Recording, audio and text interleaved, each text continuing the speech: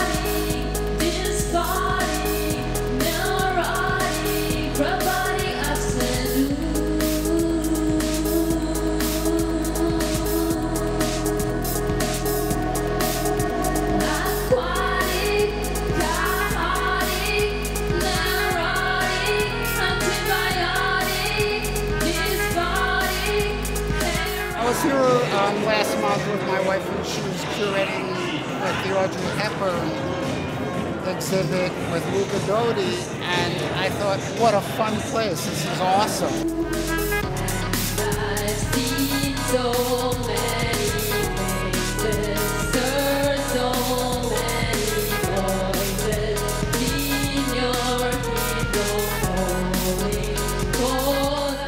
Isn't really a photo show. First of all, I, am someone who never saved their photographs, who never saved their archives, didn't save their negatives. And for me, it's always been the experience of taking pictures instead of saving the picture.